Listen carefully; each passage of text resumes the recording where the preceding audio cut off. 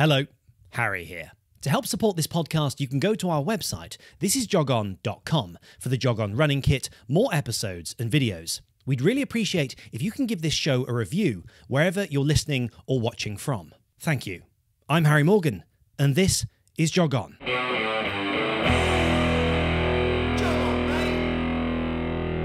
After a fairly sedentary lifestyle of smoking and very little exercise, at the age of 40, Mark Symes began running, soon realizing that he possessed an ability to run fast. I didn't realise I was going to be that quick. He focused on the track and eventually found himself competing in both European and World Masters Championships. I loved the short stuff. I really, really did like it, and it was quite obvious I had a bit of quite a bit of pace. Often in the turbulent 800 and 1500 metre finals. And I was counting down nine, eight, and it sort of went seven, six, five, four, three, two, one. It went that quickly. I sat down with Mark at his home in southern England to discuss his journey from 40 to now, the highs Apart from when my children were born, I don't think I've ever felt elation like it. and lows I literally feel like I'm going to be sick. of competing on the global stage and how great running in later life is something that we can all aspire to. Because I think if more people did it, I think they'd really, really enjoy it. So please, welcome to Jog On, the inspiring Mark Symes. Take me back to when you begin running. You did run a little bit um, in childhood up to 14, and then you sort of drop off. At the time, were you doing a bit of track running, a bit of cross country? What did that look like? Yeah, it's a bit of everything. A bit of cross country, mainly cross country actually from memory. Um, did a little bit of track work, but not not a massive amount. Yeah, and that was about I think at 14 or 15, definitely. And do you remember showing promise? Did you have an ability back then? I probably did, but I was really small, really small, really skinny. Right. Um, hadn't really developed properly, so I think there was a little bit of that. Probably should have hung on a bit longer. and found out. Yeah, Yeah, yeah. yeah. I mean, that's 14 years early. Do you remember why it stops? Is it just other things take over? You have social life or? Social life more than anything else. Yeah. Yeah, yeah. Then skipping forward, you're 40. What is it that makes you come back to the running scene? Why do you make that return? Well, that's down to being a twin, unfortunately, because um, my brother had started, I think, about two or three years prior to that. Yeah. And he'd done marathons and he was doing 10Ks and half marathons, I think. And he basically got me back into it again. Just said, you know, come back, do a bit of running, see how you get on. And that was basically where it started from. I think I did about a year's worth of, of parkruns first. And then I started to look at, you know, maybe doing a marathon, maybe doing a half. And it just went from there, really. Mm. And it starts to ramp up reasonably quickly. But are you a person who um, gets quite dri- gets quite stuck in something and quite driven? It seems like the way you've approached it, you've certainly. I mean, there's a big journey there, and you've put I mean, thousands of hours into this. Are you a, a, a bit of a Type A personality where you you really get your teeth stuck in something and think, yeah, I'd really like to develop this? Yeah, definitely. Yeah. Does your brother share that? Yes. Yeah, it's a twin thing. So talk to me about when you you get into the the marathon running. You've done a huge range of distances. You're known for some middle distance stuff, certainly 800s and 1500s where you found success in the masters, but you've also done as much as marathons. So at what point does track come in or do you do you begin with the marathons? Like where do you come in at at 40? What distances are you approaching or are you experimenting? I mean, the track didn't really come along until I was about 47. So it was late again. It's It was, yeah, I was nearing 50 when I started. I think I, I think I was 47 when I ran my first track event, I think. Yeah. Yeah, I- managed to squeeze four marathons in prior to that. They all got lower, actually. I did, I think it was 54, 254, 252, 238. That was the big jump. Then 236. 236, I got them in front of me. 254, 252, 238, 236. The 238, I think that was in 2013. That was that was massive. That's 14 minutes off of my PB.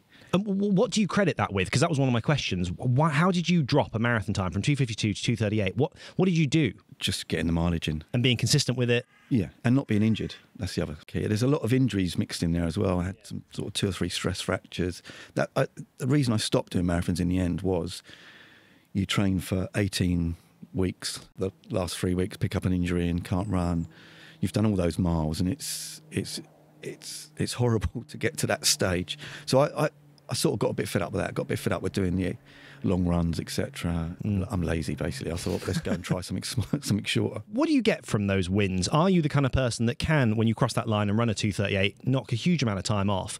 Can you look back and, and celebrate? Or are you the kind of person who's quite critical of their own performance and says, oh, but I re- really wanted this time? Is there an elation there when you achieve that? Oh, absolutely. There was with that. I can remember. I was looking at try, probably trying to run somewhere near a 245. That was a goal. I think you get a championship place if you run under 245. So that was the goal.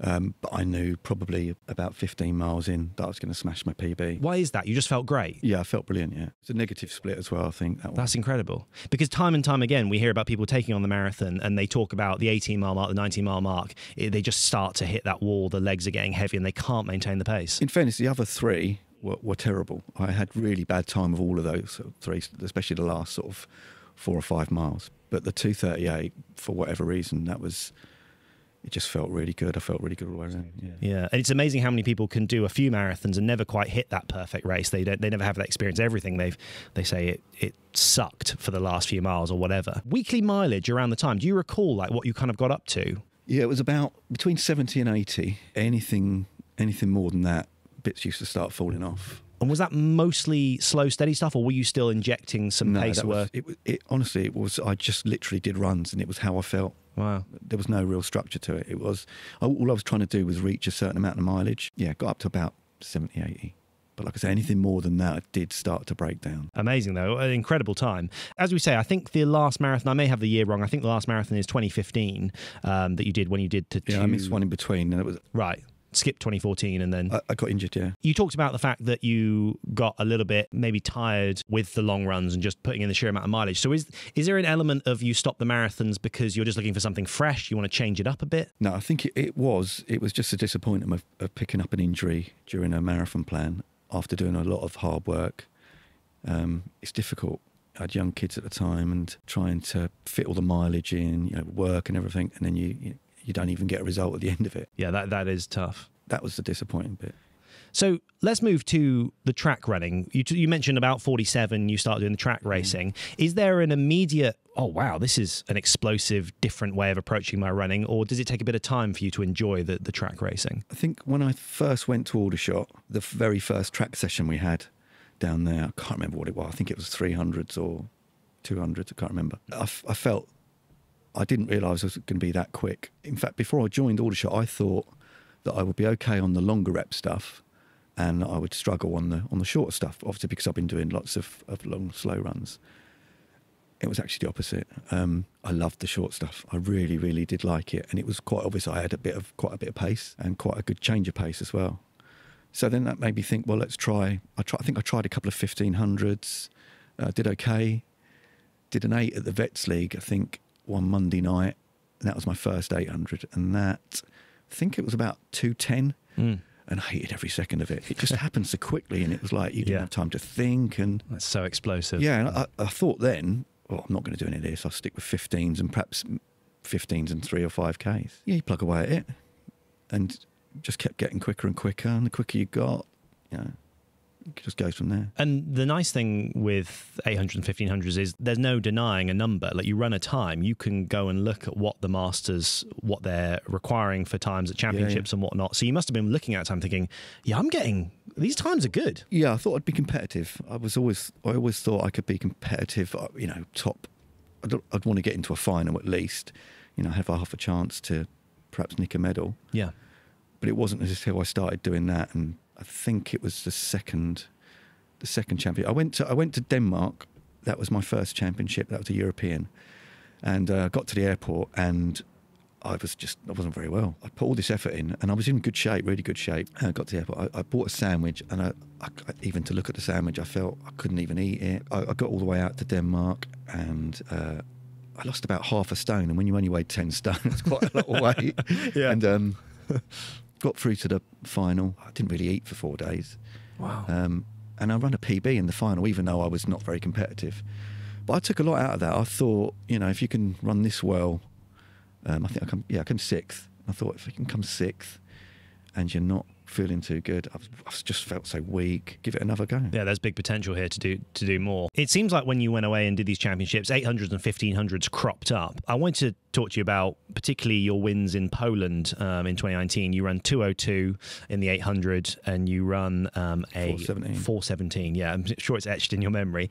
What was that? What was that experience like? Is it surreal? Is it just uh, a joyous moment? Is it? Do you get nervous on the start line? I'm terrible for nerves. I literally feel like I'm going to be sick in the morning. It's all the pre-race stuff. It's not the race. Once I get to the stadium, it's fine. It's, I get warmed up, do a few strides. I'm I'm perfect once I get to that. Get into even in the call room, I'm fine. It's it's it's the morning. It's it's oh, honestly, I've I still and I still I've done so many championships now, and I still I'm still I'm, I'm, I'm getting worse.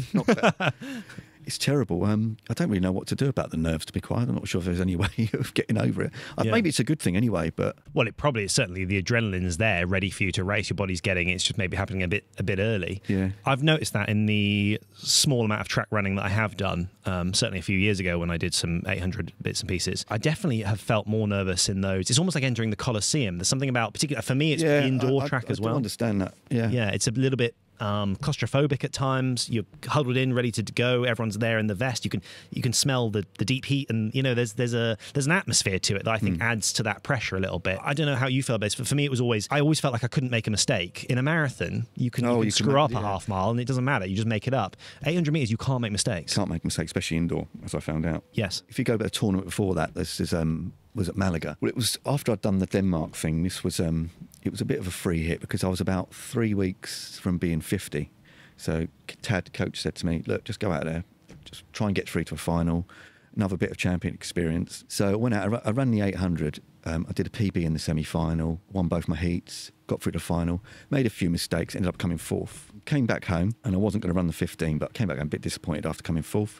Went back out there, managed to run a PB in the 1500 heat, and then I won the, won that final, and that's that's where it really sort of started for me on the track. That's when you sort I sort of thought I could be half decent at this. wasn't particularly quick time, but I got the tactics perfect. I was in about ninth place, I think, with about 100 and 250 to go. Yeah. Went to go past, um, I think it's Mark Williams, the American, and I sort of got boxed in a little bit, so I had to wait till 150 to go. Went round him, and I, I, was, I was sort of counting down. In my head, I was thinking, I've got to get a place. Definitely got after the disappointed of the 800. I've, I've got to try and nick a medal here. And I was counting down nine, eight, and it sort of went seven, six, five, four, three, two, one. It went that quickly. Wow. Apart from when my children were born, I don't think I've ever felt elation like it Interesting. Yeah. it's it's it's mad. But then I moved up to to a, obviously moved up age groups to fifty, and then I was the I was the favourite then, and that's a completely different completely different angle. But I just remembered going going to Torun. Well, firstly after after Malaga, there was a little bit of you get this down after this big high. And I was struggling for motivation, really. It was only the fact that I'd moved up a year. I think I got that extra kick of motivation. So I went there as favourite, but I, I was in very, very good shape. But the 800 metres, everything that could have gone right for me and wrong for everybody else happened. So people stepped out in front of other people as they was trying to go. Um, I got clipped, and that, nine times out of ten, that's decisions are made in a race, and that decision was I got clipped, and I just thought I'd go to the front and stay out of the way, and it was as simple as that. And then when I got to the front, I just hung on basically. But that's that's what happens in races. I don't try to pre-plan too much when it comes to how I'm going to race. Just try to respond in the moment a little bit. Yeah, you, I have a few, like three or four different scenarios. Oh, it's going to be a really slow race. I do this. It's going to be a really quick race. I do that. But my way of running back back then, not so much in Torun, but before that, prior to that, would be I would sit at the back, sit out the way, and then build it up, and try and do, try and run them like that, which worked. But but um, I think when I got to 50 and I was I was in good form, I, I could I could take a risk and go off the front. that sitting at the back usually uh, conveys a confidence in your kick, and you are someone that has a strong Yeah. kick. Do you always sort of keep in check on that each year as as you get older? Do you always think, "Have I still got it?" Oh, I think that every time I come to a new tournament, I, I haven't got it. Yeah, but I mean, I probably have lost a yard of pace, but it's still there. I think. You mentioned that that feeling of elation. What is that? Is it is it partly relief from all the nerves and all the build up? Is it just the payoff from all the hard work and you think back on all those times you've you've had? Is it just do you just enjoy the the victory? I think all, all three. Yeah, definitely a bit of a bit of relief um, because you could go there, you could be in brilliant form and still not win the race. You know, loads of things can go wrong during a race. So, yeah, it's probably a little bit of that. But yeah, you know, I work hard. I do. I, I work hard. I train hard, and I've had a bit of payback. I've been Oh, quite- I've absolutely. been quite lucky. It must be amazing. Uh, I mean, there must have been a moment when you first put the GB vest on, and that that in of itself must be not only a bit surreal, but Yeah, it's it's got to be a proud moment. And it, you think, wow, I've really come a long way that I'm wearing a vest saying Great Britain on right yeah, now. And GB got a lot of really, really good runners as well, and I've made a lot of friends as well. That's the other thing. A lot of really good friends. So I know we briefly referenced about how errors can lead to difficult races at this middle distance. If you don't mind, I've got to ask you about Portugal, yeah. which is um, an interesting. It's an 800 meter final. You'll have to sort of explain it. I mean, I understand. I've raced on indoor tracks. I've run 800 meters, but there's a lot of people out there who've only ever known 10k, road running, half marathons, marathons, etc. And it, it is almost a different sport. It's a different world, track running. And when you get to the tightness of a 200 meter indoor track, I don't know how you feel, but personally, the 200 meter indoor track is about the most pressure I've ever felt in a race because it's you're oh, so boxed in. It's so tight, and you've got men jostling for mm. positions, and it gets very tricky. For people that don't know, this you can talk me through what happened and I've watched it back on video but there's sort of an element of you're getting boxed in and it just seems like you're trying to strike but you can't quite make your way out but then you don't want to go too wide to come around just talk me through that race and what your memories are of of that run that 800 meter final in Portugal how did it happen Okay, I, I, mean, I got pretty much everything wrong that I could have got wrong. um, I'd won, won, my heat in two four, and I felt really comfortable to be quite honest. And it ended up being a slow race. That's the, the really horrible thing about that. It was, I think, it was one in two seven. But um, I got a half decent start and then didn't really carry it on. Sat back in, the problem with the indoor track is it goes so quickly because you're literally half a straight turn, half a straight turn. Before you know it, the laps are coming down. I remember getting to the bell and thinking, you're going to have to hurry up here. Got out and I got into a really good position. And then I went up the inside rather going up the outside. Um, I went up the inside. I think it was uh, Alonso. I went up the inside of. What was the thinking there? Alfonso. Just, just wanting to try and get the best line, or yeah, Alfonso had left me a little gap on the inside, and I, I tried to go up the inside. Ended up bumping him, losing momentum. I stepped off the track, so I would have got DQ'd anyway. Right. And then then I managed to get into my stride, and I, I, I caught the guys fairly quickly but I just had nowhere else to go, and I sort of basically went through the middle of them. And it's mad because when you cross the line, like three or four guys behind you, then absolutely stack it. They fall I've over got, as well. Yeah, there's a great photo of that actually, with everyone. Oh, I would love how, to see how, that. How can that? How can that skinny little bloke knock all them over? but I sent a message. Uh, no, my mate sent me a message afterwards and said, uh, I've, "I've heard you've." Um, heard you've been DQ'd. What happened? So I just said, like, I tried to get through a gap that wasn't there. And uh, he just texts back, must have been a very small gap. Thanks for your support. it's yeah. a dramatic race. Um, yeah. I was watching it unfold. Like, wow, I mean, so much happening. You could watch that through five times mm. and see something different about where certain guys are going at certain times. It's incredible. You realize in that moment, you realize how tactical an 800 meter race can be and how important those tactics can be. I think, you know, looking back, I'm much better off, even if I've got to run an extra, you know, few few meters to go wide, just stay out of trouble, yeah. basically it's a good learning experience yeah, for sure. It happens, you know. But like I say, indoors in the eight, it happens so quickly. You just, it's over in a in a blink.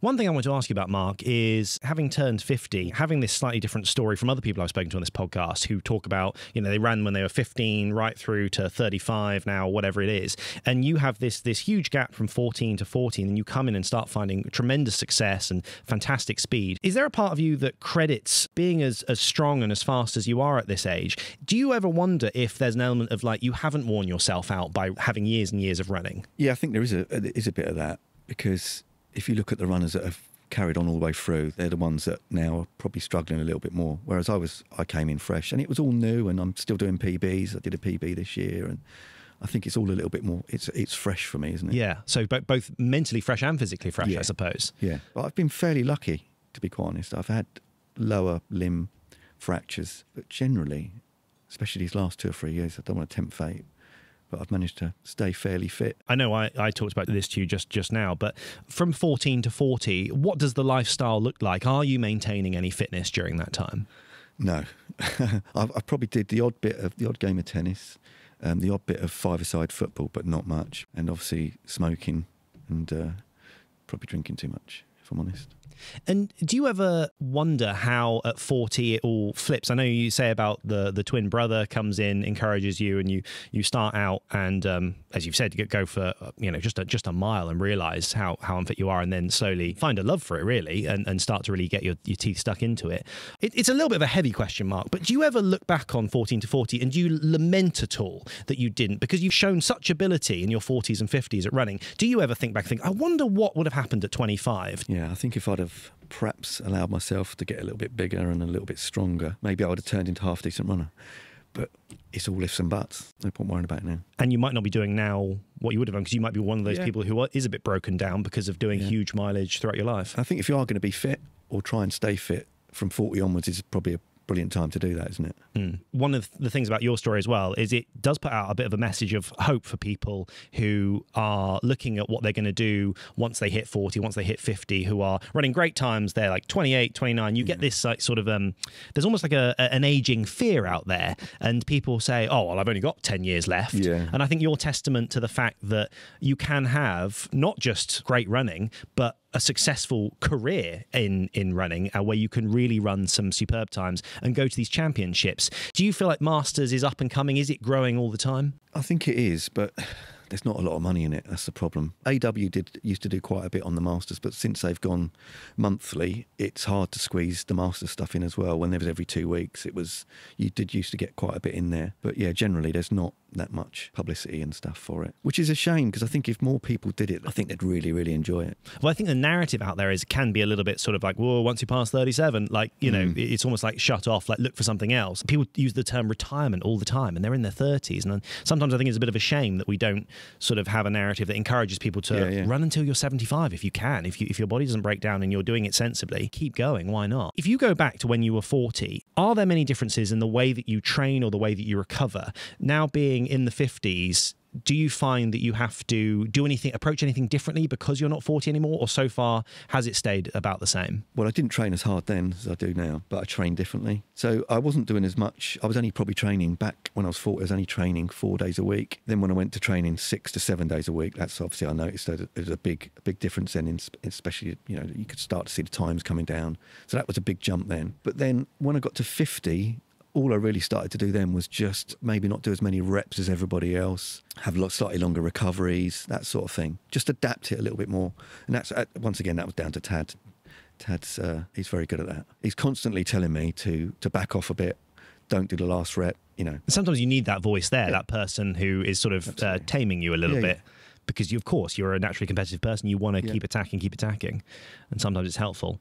Um, I wanted to switch over to parkrun and mention that because for people listening to this, they might think you're a track guy, you've done the marathons, but you actually have quite a strong association with parkrun, particularly namely Frimley Lodge being your local parkrun that you have attended very consistently, and even over time, you see you um, starting Frimley Lodge years back kicking out about four very low 20s and then dropping through the 19s, through the 18s, through the 17s. You eventually run a 1605 or a 1606, I forget the exact time, at Frimley Lodge. 1608. 1608. You run that 1608. What for you? What has parkrun meant? It seems to have been a staple that Saturday morning for you. Is it the consistency of it? Do you enjoy the community aspect? Yeah, all of that really. Consistency. Um, I like to get up on a Saturday morning. It, it gets you out of bed. Community. I've met so many lovely people there. Yeah. Uh, I've I've stolen a few for, for the club as well. Aldershot. Uh, a lot of people, you know, that prob- I probably wouldn't have met, and they probably wouldn't have ended up at the club. I was thinking about this the other day about parkrun though. I mean, if if you could pretend there's a world without parkrun, Mm. and someone came up to you now and, and said, "I've got this idea," and they they run through what a parkrun's about, I'd be thinking that's never ever going to work. I, I still don't quite understand how it does work. It doesn't make sense, does it? It's you know, especially it's free, and volunteers, and it just I just don't get it. I think, you know, I would, I'd honestly think someone's mad. It's, I'd just be thinking, who's going to do it? Who would go to it? You know, good runners not going to go because it's going to be for joggers. Joggers won't go because they're going to think it's going to be for good runners. Yep. Yeah, it's it's a it's a weird concept, and I still don't quite I can't put my finger on it why it does work. It's quite remarkable, isn't it? Yeah. And you're absolutely right. It's um, that concept is an amazing one, and it's not. But it, and it's not just that like oh it works. You get some people turning up. It's like so successful. Yeah, yeah, yeah. People love it, And not just in this country, all over the world. So it's not just a, a UK thing. and just shows that it is for anyone, everyone, right through from a masters 800 meters athlete hmm. to someone who's just started running. You know, it just shows the vast scope of people that can can do it. One question I had for you before I move on to the final question, Mark, is it's, it's a difficult one, but if you had to pick a distance that you are the most fond of, because you are someone that has done such a range, I chat to people who are really just five and 10 Ks, I've chatted to people who are really just done you know, the odd half and, and full and then the odd sprinter. Is there a fondness that you take away from one distance in particular? Is it, is it something uh, fast and explosive on the track, or do you have very fond memories from all that marathon work? What, what have you enjoyed the most throughout your running career so far? Enjoyed. Um, Maybe that's different from yeah. Uh, success. no, I love I love the track. That is that is my thing. I love the track. Um, but I do have a fondness for marathon. I'm, I can remember always watching the marathon, even when I wasn't running. Um, and even watching the marathon a couple of weeks ago, it just it brings it all back. You think, look, if I've always said if I became uncompetitive on the track, then I would go back to do it, and I would give the marathon another go, one more go. What hurts more, the final few miles of a marathon or the last few hundred meters of an 800? What, what's more painful? Depends what position you're in. Do you have to go to a darker place for one of them? Yeah, the marathon, you've got to dig it out. Yeah, the track stuff.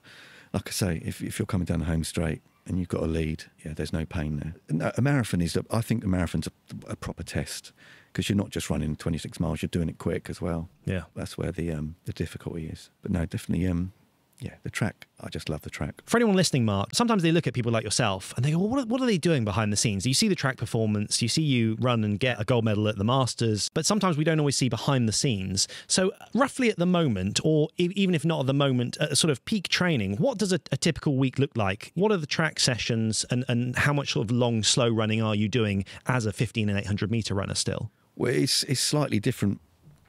It's slightly different when I'm coming up to a competition. Obviously, I tend to back off a little bit on the mileage, bring up the speed a little bit. But generally, as a general um, week, would be Monday, Wednesday, and Friday would just be um, recovery runs, and they'd be about 10k. Parkrun on Saturday, long run on a Sunday, roughly about 10, 10 to 12 in the summer, and 10 to 14 in the winter, and then it would be the two sessions at the at the uh, at the club, and that'll be um, probably one track session and then one on the road and the, or the grass. Mm.